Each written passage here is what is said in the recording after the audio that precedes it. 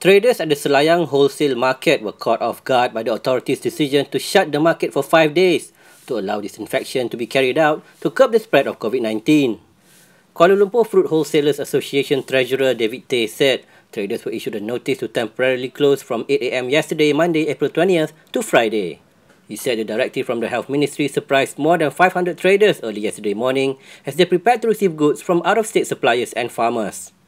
Tay described the situation as chaotic as there was a virtual lockdown at the market and surrounding areas, with everyone barred from entering.